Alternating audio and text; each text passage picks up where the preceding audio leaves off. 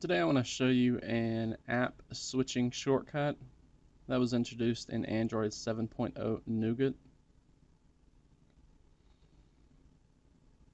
Now there's always been a way to switch applications and that's been this overview button which was previously known as the recents button.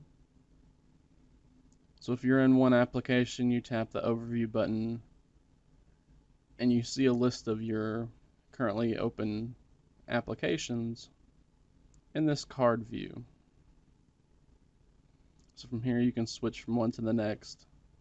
And while that's nice and all, it's not as quick as it could be.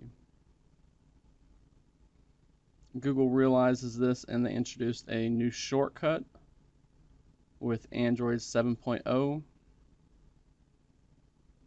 and that's what I want to show you today. So whenever you have one application open and then you switch to the next one, from here, whenever you quickly double tap the overview button, it will instantly switch you to the app, the last application that you had open. So you see I'm at settings now. I switch over to the Play Store. Now whenever I double tap that overview button, it will instantly take me back to the settings application and this can go back and forth, back and forth. See now I'm in the settings, double tap the overview button, and I'm instantly taken back over into the Play Store.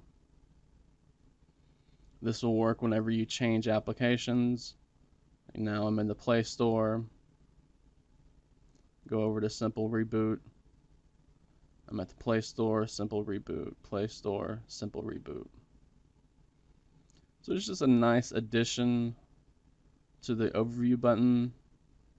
That makes it quicker to switch from one application to the next.